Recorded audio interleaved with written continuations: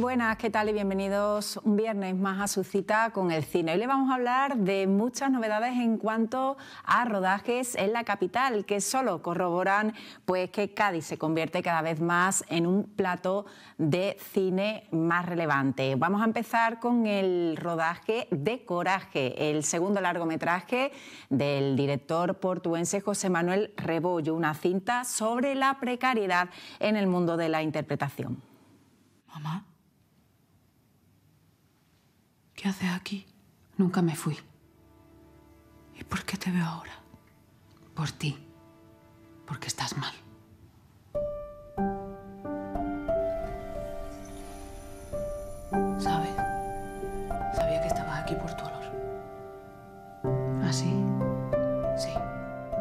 Después del éxito de Sola, su ópera prima, candidata a las nominaciones de los Goya de 2024, el director portuense no ha parado ni un momento y se encuentra ya inmerso en el rodaje de su segunda película, Coraje. El tema de Sola ha sido, vamos, un, gran viaje porque, bueno, ahora el 8 de marzo se estrenó en filming la película.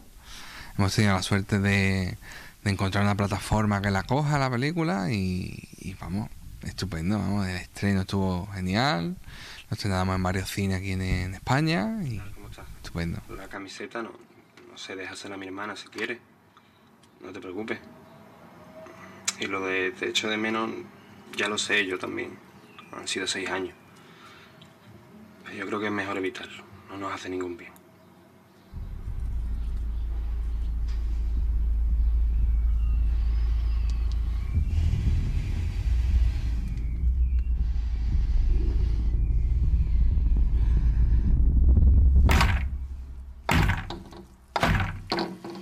Después de un tiempo y de escribir varios guiones, Rebollo consideraba que era el momento de contar su nuevo proyecto. Ha pasado un tiempo, yo he estado escribiendo varios guiones y ha dado que, que este era el más propicio para rodar ahora, para que fuera la segunda película. Según relata el portuense, Coraje refleja la vida de Loli, una gaditana de 60 años que lleva toda su vida queriendo protagonizar una película. Ella solo había participado en cortometrajes y cansada de la situación se plantea dejar la interpretación. Es justo en ese momento cuando se le presenta la oportunidad de rodar una cinta, pero de muy bajo presupuesto. La película se centra en Loli, una gaditana de 60 años, porque la película está ambientada aquí en Cádiz, que lleva toda su vida queriendo protagonizar una película. Pero hasta ahora solo ha hecho trabajos menores, ha hecho cortos, ha hecho cosas menores, ¿no? Y no ha cumplido su sueño de protagonizar una película, hasta que llega un punto en el que dice, mira, lo dejo ya, ¿no? Eh, era mi sueño y no he podido cumplirlo. Y casualmente se le cruza el protagonizar una película. Pero ¿qué ocurre? Que esta película es de muy bajo presupuesto y el rodaje termina siendo un caos. La Catedral de Cádiz o el Puente de la Pepa son algunas de las localizaciones que se podrán ver en este nuevo proyecto, un rodaje de aproximadamente tres semanas que comenzaba el pasado 5 de marzo en distintas localizaciones de la provincia. Tres semanas, el rodaje van a ser tres semanas, sí. Y bueno, bien, tenemos los sábados y los domingos que estamos descansando para, para coger con fuerza la semana y, y bien, está todo viento en popa. Obviamente sale la catedral, evidentemente. Queremos sacar también el, el puente de la Pepa y, y algunos callejones de Cádiz. En este trabajo, el portuense contará con el productor Rafael Caballero, que conoció precisamente en un curso de producción de cine de la UCA. Rebolló asegura que el compositor está apostando mucho por la gente de Cádiz. Rafa ha dado unos cuantos de cursos ya en la UCA de producción de cine. Yo fui a uno, lo conocí ahí. Y bueno, hicimos migas. Yo le conté que quería hacer una película y él se involucró en el proyecto sin pensárselo. El reparto contará con la actriz portuense Monse Torrent como protagonista, con el chiclanero Adrián Pino, actor que ha trabajado en la serie de Netflix El vecino, o con el sevillano Antonio de Chent, que visitó la capital en 2023 en el preestreno de la cinta del director uruguayo Gustavo Hernández, Lobo Feroz. Venga, digamos nombre, la protagonista es Monse Torrent. También está Adrián Pino, un actor de Chiclana que salió en la serie del vecino y ha hecho varias cosas. Y bueno, tenemos a Antonio de Chen. Un proyecto que sin duda quiere lanzar un mensaje con un carácter reivindicativo ante un panorama, asegura, marcado por la precariedad en el mundo de la interpretación.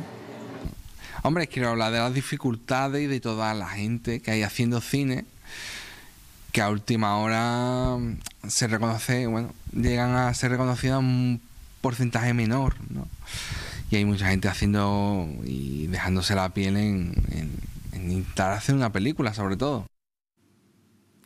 Y seguimos hablando de más películas que se rodarán en la ciudad. Me refiero a Tierra de Nadie, el nuevo film producido por el barbateño Álvaro Ariza y dirigido por Albert Pinto, que llega próximamente, el próximo mes de abril, a la capital gaditana. La agencia de casting para cine y televisión a primera figuración ya ha abierto la convocatoria para localizar a hombres y mujeres de todas las edades para el nuevo trabajo de Pinto.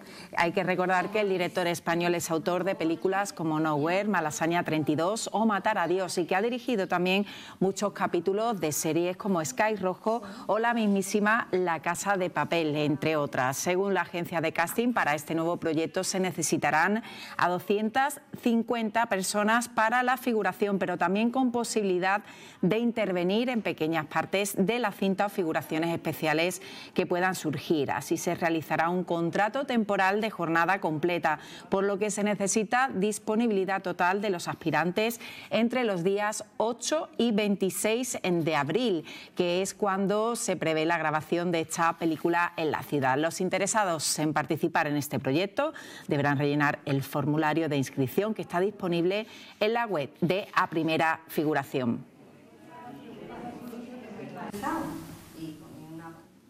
Y la película Cádiz-Madrid, que se presentaba en 2022 aquí en la ciudad, ha tenido numerosas menciones, nominaciones, premios y reconocimiento. El último ha sido en el Festival de Cine de Nueva York. Como no podía ser de otra forma, nosotros hemos querido contactar con su director, con Pedro Loez, que desde Buenos Aires nos mandaba este mensaje. ¿Y por qué estás aquí? Mi padre se ha puesto malo. Me he tenido que venir. ¿Y la obra en Madrid? Pues he tenido que dejarla. Hola, buenas tardes. Estoy en Buenos Aires disfrutando de un periodo aquí y muy contento de volver a contactar con Onda Cádiz, con Mamen y contarles un poquito de nuestra querida película Cádiz Madrid. Después de esa presentación en Cádiz que nos encantó y que también sentimos mucho el calor de la gente, eh, se presentó en el Festival de Cine de Madrid y nos dio la alegría de que ganó el premio del público al mejor largometraje. Acto seguido fue elegida en Fort Lauderdale eh, y fue el preestreno internacional en Hollywood, en, uno, en un cine de Hollywood, lo cual fue muy curioso. Y luego ya en enero o sea, el mes siguiente, en enero de este año, 24, fue seleccionado en cuatro festivales y hemos ganado tres premios y ahora en febrero también, eh, ayer nos hemos, eh, antes de ayer nos hemos enterado que ha ganado el premio al mejor, a la mejor película independiente en el Festival de Nueva York. Antes que esto había ganado el premio al mejor largometraje en el Festival de San Diego y el premio Excellence en el Hispanic International Film Festival, que es en, Estados Unidos, y también fue nominada en Jaipur, en el Festival de Jaipur de India, que también es em, un gran festival. Y luego fue eh, seleccionada en Madrid, que es otro festival que todavía no ha transcurrido, y está seleccionada en Praga también. Bueno, eso es más o menos la evolución que tuvo. Eh, muy contentos con estos ocho festivales y cuatro premios y con ganas de que cuando termine el periodo de, dar vueltas y vueltas en festivales, que tenga un estreno y que lo pueda ver el público querido de Cádiz en pantalla grande. Además se va a ver en Canal Sur. Bueno, muchos cariños y gracias. Quédate. Te recuerdo que yo he venido aquí para estar contigo, para estar juntos. Y ahora voy por la vida en carne viva, que no te das cuenta. Está claro, esto es caro. Que me duela, esto es caro.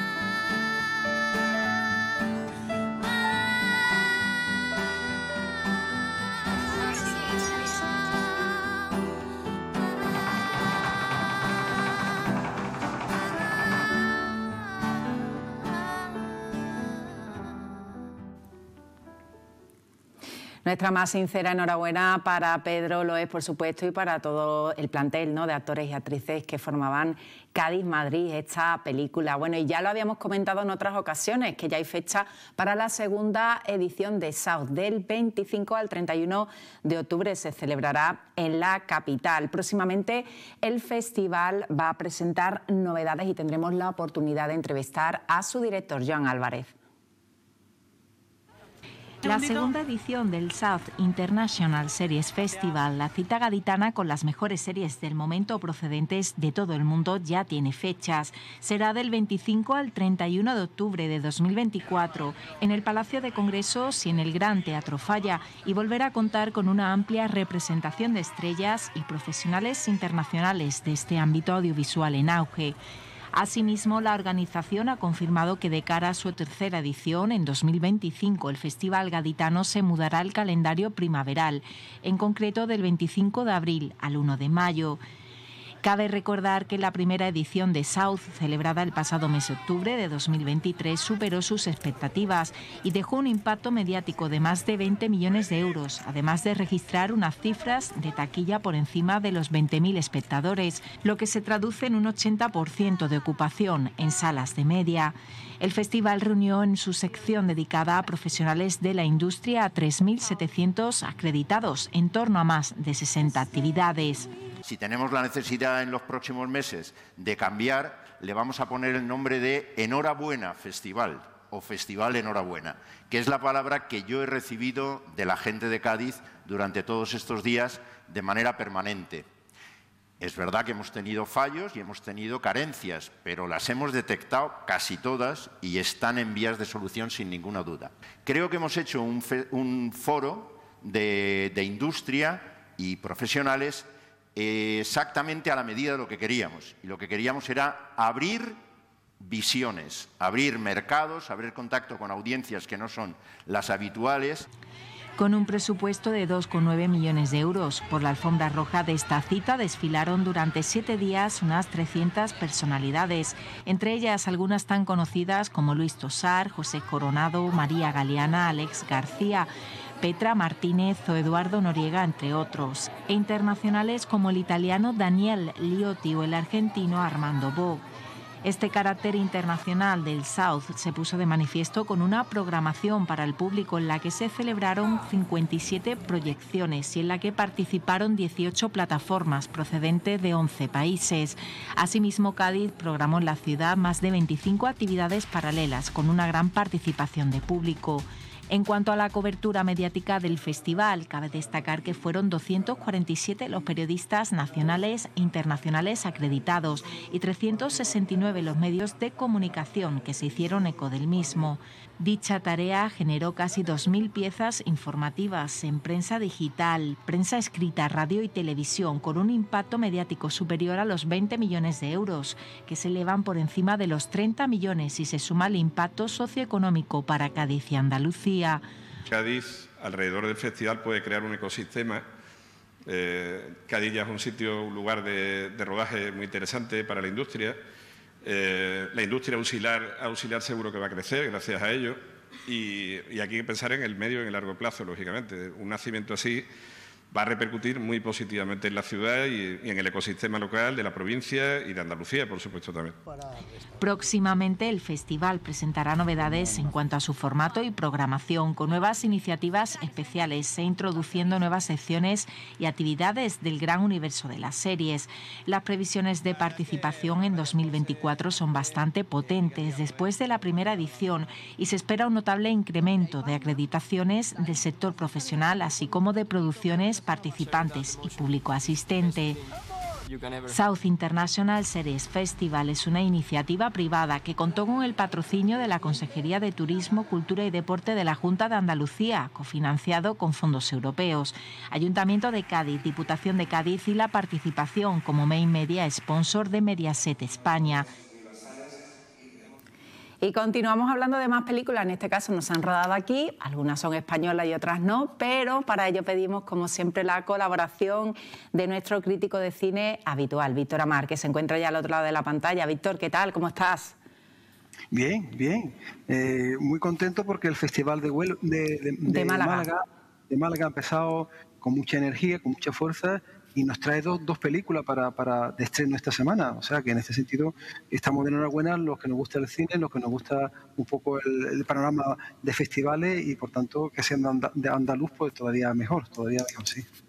Bueno, pues vamos allá con los estrenos de esta semana. Vamos a empezar por uno que se llama Por tus muertos, que no es ningún insulto a nadie ni nada, que estamos viendo en pantalla, una comedia dirigida por Sayago Ayuso y habla sobre Metralla, que es una banda de rock de finales de los 80 que consiguió alcanzar sus primeros puestos a la lista de éxitos, pero con, un único disco que se llama además Por tus muertos. Pero misteriosamente se separaron, se separaron los miembros de la banda antes de su primer directo. Entonces Miguel, que es uno de los componentes, bueno, insiste en dedicarse a esto y al final eh, le consiguen un concierto en Madrid. Él dice que tiene que ser con todos los miembros de la banda, que si no, no hay nada que hacer.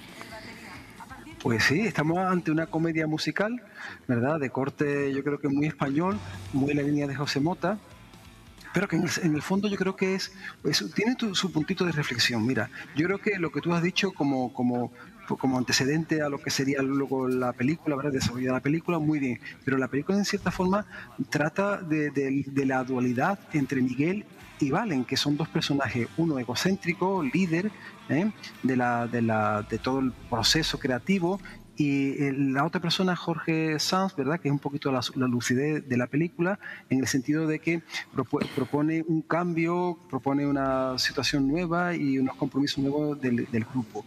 Digo esto porque la película podía ser interpretada como algo baladí, como algo muy, muy anodino y sin embargo tiene esa, esa, esa, esa intención, ¿verdad?, de, de, de, lo que sería el trabajo grupal, de lo que sería el reconocimiento del grupo y dejar de atrás esa egolatría, ese egocentrismo que puede tener ciertos personajes musicales, ¿verdad? En este caso, eh, interpretado por, José Mota, muy bien, muy bien, porque está en la figura de, un personaje que te puede recordar Fito, ¿verdad? Pero bueno, tiene otras características. Esta película también tiene una, una, una intención muy interesante que está producida por Televisión Española y que ahora estará en cine, luego pasará a Prime Video y luego pasará a Televisión Española. Digo todo esto para las personas que no tengan la ocasión de verla en cine, que sería lo, lo ideal, bueno, pues ya la verán en su plataforma y luego también pues en abierto en, la, en, el cine.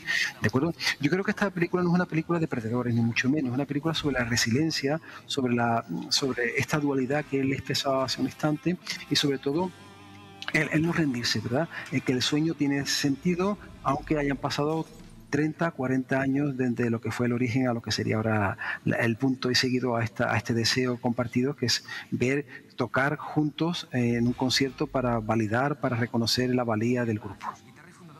Pues sí, como tú decías, comedia, pasamos de una comedia a una comedia dramática, un drama materno-filial que además ha despertado muchos aplausos, como decías, en el Festival de Cine de Málaga, que se han presentado varias de las películas y, bueno, decir que está dirigida por Celia Rico y que, bueno, es la historia de una madre y una hija que tienen que pasar juntas un verano, la hija tiene que cuidar de su madre, que la vemos que tiene la pierna pues fastidiada y es un poco, ¿no? También, Víctor, eh, eh, cuando tenemos que empezar de, a, cumplir el rol de cuidadores, ¿no? Como hijos de, nuestros padres. No sé, así lo veo, lo veo yo y que da pena, o sea, es complicado, ¿no? Es una fase de la vida que, que por ahí, pues, evidentemente, o no, pero bueno, tenemos que pasar la mayoría. Bueno, Festival de, de, Málaga, sin duda alguna, pero también una fecha emblemática, ¿no? Se estrena el 8 de, marzo, que tiene una simbología tremenda para el mundo de la mujer. Y esta película es en femenino, no solamente por la directora, por, por, la directora, por Celia, que como tú no sabes, sevillana, se formó en Sevilla, luego pasó a, Barcelona, tuvo, tuvo, una relación profesional tremenda con varios directores, Bergel, Kerim, o sea, una una formación sólida, ¿de acuerdo? Y emite una película que explicaría también esta, una película previa en el año 18 que se llama El viaje al centro de, de, una madre. Viaje al cuarto de una madre, sí. Al cuarto de una madre, efectivamente, fue en el 18. Y esa película eh, trata sobre una cuestión de ámbito personal, en el sentido de que eh, es la decisión que tiene que tomar una persona para salir del hogar. Y ahora la, es la, la, opción de entrar dentro del hogar con 40 años, cuando tu madre tiene 60 y pico. Mm, claro, en la película primera hay una relación materno-filial con la problemática de una persona que ha tiene ya veintipocos años y ahora tendrá unos aspectos de conflicto generado a partir de los cuarenta y pico de años. La película habla en términos de mujer, habla entre la eh, entre lo que sería la, regla y lo que sería el dejarla de tenerla, ¿verdad? Como dos conceptos de, vida, ¿verdad? Como aquello que se te pasa el, arroz, ¿verdad? Dicho de forma coloquial, y esa persona que ya está de vuelta de todo eso. Entonces, hay una, una serie de preocupaciones humanas que son muy interesantes. Los diálogos son muy fluidos, las relaciones, los detalles, los pequeños detalles. Una película muy intimista y yo diría que conmovedora. Por eso es una película que hay que tenerla muy presente y que la crítica desde el festival de Málaga, como tú han dicho, la tratado excepcionalmente. No hay yo no he leído ninguna crítica que la haya cuestionado, todo lo contrario, es una película que tiene un predicamento muy interesante dentro de la, de la, crítica especializada. Es una película, yo diría que intimista y por tanto conmovedora y yo creo que nos va a hacer descubrir los cuerpos maduros ya en la primera película de Celia digamos, los cuerpos mm, más jóvenes, con más lozanía, y ahora vemos estos cuerpos ya un poco más, más, mayor, más mayores, más maduros, más, más, más adultos. ¿verdad? Entonces esta película, insisto, es una película muy interesante y que nos va a conmover, nos va a hacer disfrutar y seguramente sea una nueva lección de cine andaluz. Bueno, y vamos a cambiar totalmente de género para los amantes del anime. Tenemos también otra película que es la tercera de nuestras propuestas que se llama Blue Giant, que el nombrecito podemos decir gigante azul directamente. Además, si tengo que decir al director que es eh, Yuzuru Tachikawa, eh, bueno, un máster, ¿no? Vamos a aprender aquí la de nombrecitos que nos ponen. Eh, como decía, una película para los amantes del cine anime y es una oda al jazz, ¿no? Y a la pasión por la música, porque este chico, el protagonista, que es Dai Miyamoto, es un joven que, que se dedicaba al baloncesto, era un jugador de baloncesto y da su vida a un giro inesperado cuando descubre el jazz. Efectivamente, es la segunda película que versa sobre la, música en este caso, ¿no? Eh, la primera tenía como, como protagonista quizá la invisibilidad de Madrid, esta tiene la invisibilidad de Tokio. Eh, el cine de, anime tiene muchas características. En este propio director podemos ver el anime de corte psicológico, el de detective, aspectos sobrenaturales, y ahora le toca el tema de la, de la música, de lo musical. Son, es, un subgénero dentro del anime que está creciendo muchísimo y tiene mucho predicamento. A ver, la historia, la historia tú la has focalizado perfectamente, ¿no? Es un chico que descubre una nueva motivación de vida y eso lo lleva a que el jazz ocupe su, su cotidianidad. Pero en el jazz él lo va, lo va a configurar con, con otras personas, con dos más con dos amigos, uno con experiencia y otra y otro casi sin experiencia. Eh, vamos a tener un pianista con experiencia y un eh, batería sin experiencia. Y entre ellos va a surgir una, una, una, una, relación no solamente musical, sino también de afectos y desafectos. Por tanto, tendrán que resolver los, los conflictos y ahí muestra toda una sintonía donde la música los envuelve, donde la música yo creo que, que los, que, los, que, los, que los hace que vayan en buena dirección. Una película sobre la amistad y el compromiso, nuevamente sobre resiliencia, donde un sueño se puede convertir en una ambición en cierta forma. Por tanto, la película es una gran película, también es del año 23, ya tiene bastante bagaje dentro del panorama de la crítica y de festivales, pero a nosotros nos llega ahora y tenemos la oportunidad de disfrutarla. Yo considero que la película es una gran película desde el punto de vista del juego sensorial. ¿De acuerdo? Vamos a disfrutar no solamente la música, no solamente lo que es la animación, sino también la conjunción de los dos, de los dos, estos dos grandes eh, elementos, ¿verdad? Que es la música y es el cine. Por tanto, creo que estamos de enhorabuena y podemos ver eh, quizá una película no solamente de corte musical, sino también mm, lo que sería el sacrificio por una pasión, en este caso la música de jazz. Insisto que Tokio es muy importante y también, también muy importante todo lo que son las relaciones humanas en esta película de animación. Insisto, una vez más, una buena película. Bueno, pues te gustan, imagino, todos los estrenos, ¿no? Tienen algo bueno que para que los que estén en sus casas y digan, bueno, pues, ¿por cuál nos decantamos, no? Una, cada una tiene lo suyo, está claro que son temáticas diferentes, una más de risa, otra te hace más que pensar, bueno, y esta también siempre nos dejan un mensaje, ¿no? Que lo que nos gusta a los cinéfilos, ¿no? Que la película te deje y te haga pensar, eso, eso está muy bien. Pues Víctor, como siempre, un placer tenerte al otro lado de la pantalla. Muchas gracias por, por estar ahí y vamos a ver cómo termina el Festival de Málaga, que dura una semana. Ya hemos visto, he visto ¿no? a muchos invitados que han pasado por aquí, eh, los he visto en la alfombra de allí, en Málaga. La verdad que es un honor y un placer y esperamos hablar, tener aquí en Macine algunos de ellos. Que un saludo como siempre y que nos vemos la próxima semana. Pues sin duda, hasta la próxima semana, aquí estaremos convocados. Bueno, y los que están en casa, si también quieren ir al cine, les voy a hacer una pregunta eh, a continuación y es que eh, qué película de la directora, de la directora Celia Rico, eh, uno de los estrenos de, de, esta semana, Los Pequeños Amores, ha estado nominada a cuatro Goyas. Si saben la respuesta, solamente tienen que escribir su nombre, apellido y la respuesta correcta al teléfono 672 61 2240. Pues lo dicho, muchas gracias por estar al otro lado de la pantalla y ya saben que tienen una cita aquí en Más la próxima semana.